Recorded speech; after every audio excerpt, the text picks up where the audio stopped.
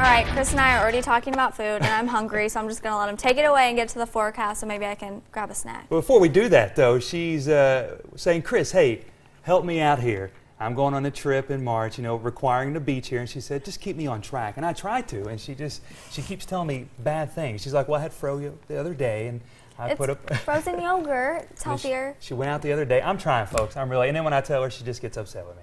Just like you're probably going to be upset with me when we get into this forecast because not only is the cold air invading the state this weekend, but maybe the chance for a few snowflakes as well. So let's get into it. Live pinpoint Doppler as we scan the skies here across eastern Kentucky. Nice and dry to kick off this Friday morning, but that won't stay that way because we're going to see some rain chances move in later on this morning into the afternoon hours. Now, temperature is pretty cold and it's more concentrated across far southeastern Kentucky. Temperature readings in the low, even mid 30s for some areas, 36 degrees in Wise. Otherwise, we're seeing those low to mid 40s across much of central and eastern Kentucky. And as you get the kids ready early on, be sure to bundle them up. Temperatures around 40 degrees, but pack that umbrella in their backpack for later on today because rain chances will ramp up throughout this afternoon into the evening hours. And look at those temperatures. Unseasonably mild for this time of the year as highs soar into the low, even mid 50s. But here's a look at the big picture.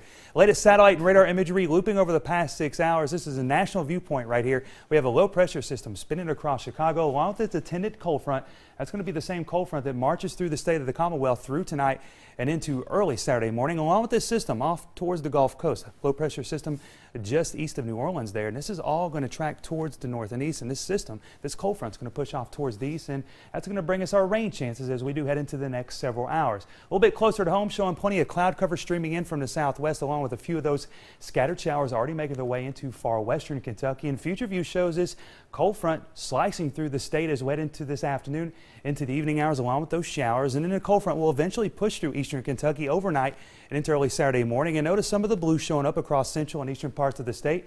Yes, some snow showers possible as we head into the overnight hours and into your early Saturday morning. Not expecting much in the way of accumulation, but don't be surprised if you see a few snowflakes flying around. Now, cold air settles in for Saturday and Sunday. Temperatures in the mid 30s, so much cooler than those low to mid 50s, what we've had over the past couple of days. But it gets even colder as we head into the latter part of your weekend and into early next week. And that's because Arctic air is going to settle in from the northwest, eventually arriving on Kentucky's doorstep into early next week, along with the chance for a few of those snow showers once again Sunday and into early Monday morning. And then temperatures moderate back into the 30s, eventually low 40s by next midweek. But look at these temperatures 21 degrees for a high Monday afternoon.